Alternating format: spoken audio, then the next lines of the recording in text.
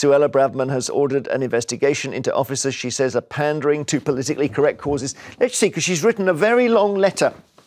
Okay, so here is the Home Secretary. Let, let, us see exactly what she's written in this famous, this famous letter.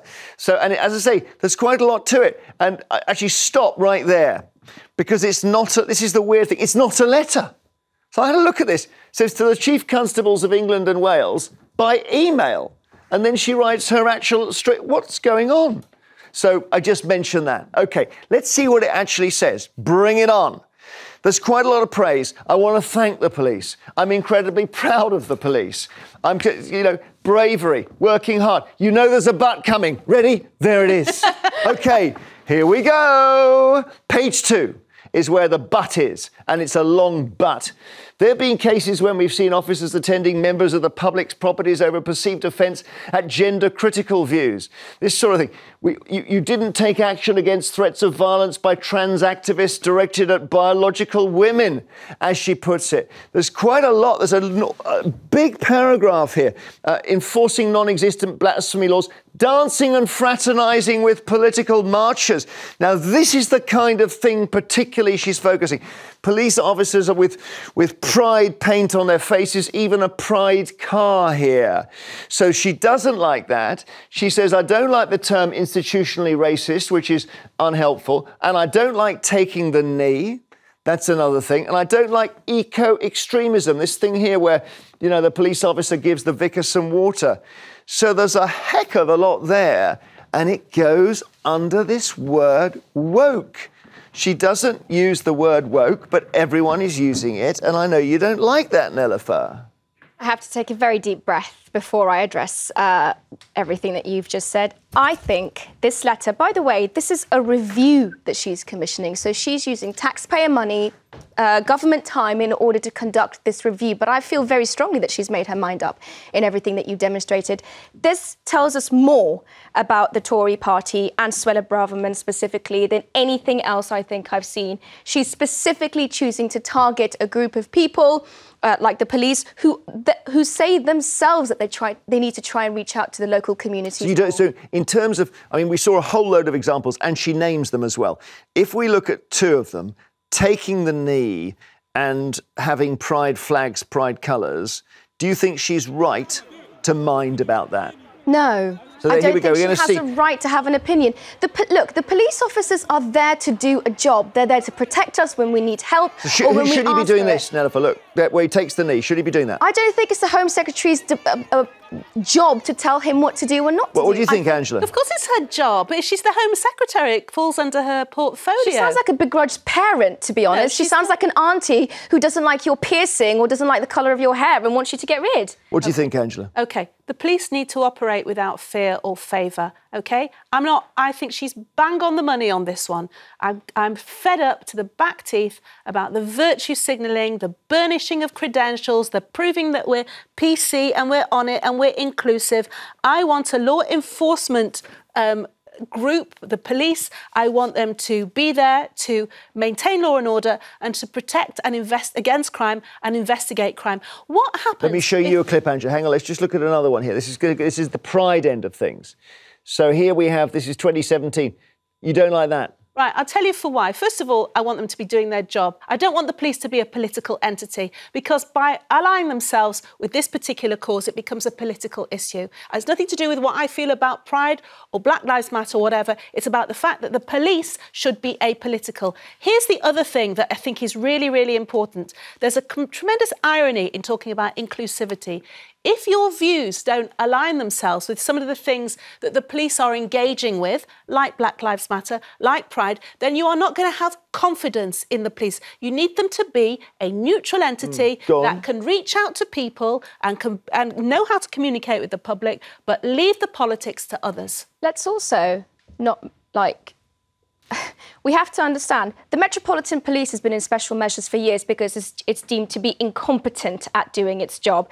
Well, she doesn't like the phrase institutionally racist, by the way, which, which I, is I... which is fact. which is actual well, she says it's very fact made by a review that the Met commissioned. So the Met themselves have to, have agreed by uh, that they are institutionally racist. I, I want to make one thing clear.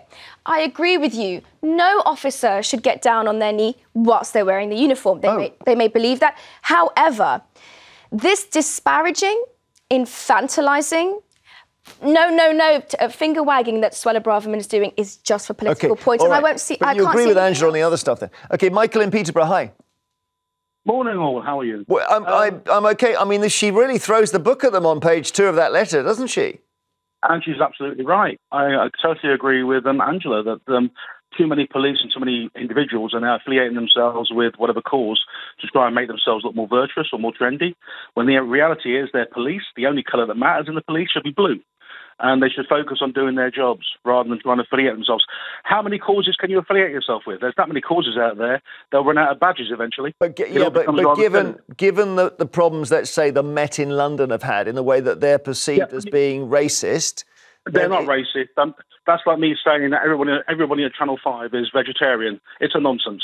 Um, you can't you can't put a blanket claim. Well, like there was that. a judge, uh, the judge who, who did the Macpherson report in the 90s said they were institutionally racist. So that's all I'm that going was, by. That, that, was the 90s, and that was the 90s, and that was after that sad Stephen Lawrence case. Yeah. I mean, I'm in Cambridgeshire.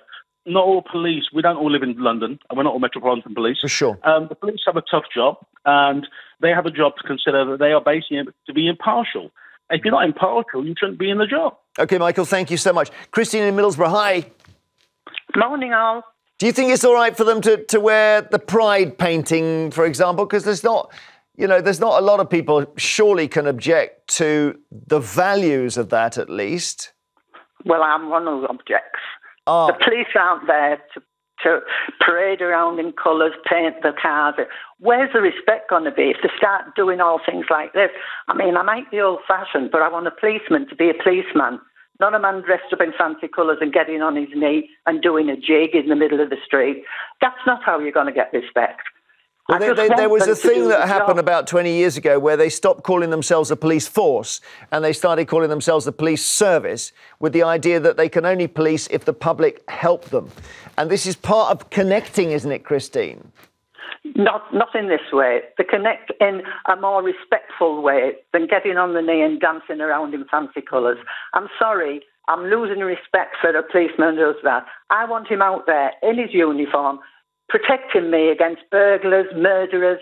That's what a policeman's there for. That's what we expect of the policeman. All right, Not thank you. dancing in the street. There, thank you so much. I mean, this is the thing that people do. They do. A lot of people say they want to go back to life on Mars policing. In other words, the sort of thing you saw where people got they're probably scared of the police. Love that show. I think Suella Braverman has more important things to deal with in the failing police system in this country than whether they're wearing face paint or whether they've got the people. right badge. I agree it matters to people, but the fact that the majority of rape cases in this country aren't uh, prosecuted or aren't actually investigated should worry them more. Mm. Is it, so yeah, maybe that's a good point, Angela. That actually it's it's completely on the margins. It's it's those so-called culture wars where you have a big row about nothing. No, I think Look, the thing is, I'm sorry to use this phrase again, but they're not mutually exclusive. It doesn't mean that because there is a court backlog, partly from the pandemic, partly because the, the justice system is creaking, yes, the, there is an issue with, with cases being investigated. We've seen the way the culture has turned in terms of getting defendants into the dock after uh, after murderers won't, but won't appear, refuse to be, appear in court because of sentencing. Justice needs to be, what I'm saying is, Justice needs to be felt. If you're driving and you see a police car behind you, you immediately think, is it my speed or Oh, yeah, as a, as a, teenager in a car, if there was a police car near yeah. me, I was terrified. Right. Hmm. I want to have that feeling with a police officer because not because I'm doing anything wrong, because the person in the street so who's doing I, anything wrong so can I will ask you that. Then, that infantilizing letter she wrote, almost wagging her finger at the police service, does that make you trust the police more? She's she's entitled to wag her finger. She's but not boss. in public. Like I, I agree, she's the boss. Precisely because she's the boss. I agree. Precisely in public. I it agree. has to be transparent. No, honestly, I do agree she's the boss, and of course, I believe that the police should keep their opinions to themselves. There's clearly a failure of policy here on what, what the police services are doing around the country. I don't ignore that. But what I'm saying is, writing these letters, these cheap shot shots at the police No, I- service okay, I isn't hear you. win them on side. Mm, okay. You're alienating It's not a question All right. of winning on side. It's just saying don't do it. All right.